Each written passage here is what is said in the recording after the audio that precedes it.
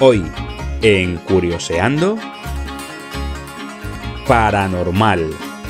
De los casos de fenómenos paranormales más impactantes de las últimas décadas en España, siempre destacará el llamado Caso Vallecas. Es una historia de fantasmas donde una familia vivió un infierno a raíz de que una de las hijas realizara una sesión de Ouija en el instituto donde estudiaba. Desde ese momento, en su hogar, empezaron a vivirse sucesos increíbles, objetos que se movían solos, cajones que se abrían y cerraban, y hasta un retrato entró en combustión espontánea. Los sucesos se fueron agravando hasta el punto que una noche se precisó de la asistencia de la policía, y fue un inspector quien dejó constancia de todo aquello en un informe que causaría una gran conmoción.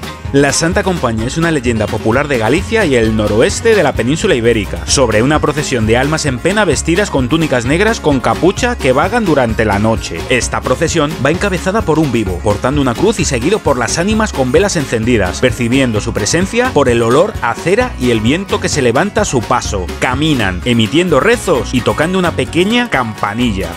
La Llorona es el alma en pena de una mujer que ahogó a sus hijos y que luego arrepentida y maldecida los busca por la noche por ríos, pueblos y ciudades, asustando con su sobrecogedor llanto a quienes la ven u oyen. Su historia posee gran diversidad de versiones, dependiendo del lugar donde se cuenta esta leyenda. El chupacabras es un ser que ataca a animales de diferentes especies, especialmente a cabras, en zonas ganaderas o rurales. El nombre proviene de los supuestos hábitos hematófagos de la criatura, que succiona toda la sangre del cuerpo sus víctimas. Las descripciones físicas del chupacabras varían, pero comúnmente se describe como un extraño ser del tamaño de un oso pequeño y con una hilera de espinas abarcando desde el cuello hasta la base de la cola. Un paseo por el pueblo viejo de Belchite es una de las experiencias más escalofriantes que un ser humano puede vivir. Este pueblo es considerado por algunos investigadores paranormales como un pueblo maldito, asociado a la muerte de cerca de 5.000 personas en la Guerra Civil Española. Los fenómenos más sobrecogedores que han sido registrados son las psicofonías de lamentos, disparos y bombardeos, la aparición de sombras en los trozos de balcón que asoman entre los edificios derruidos o el sonido de las campanas desde lo alto de los restos de la iglesia.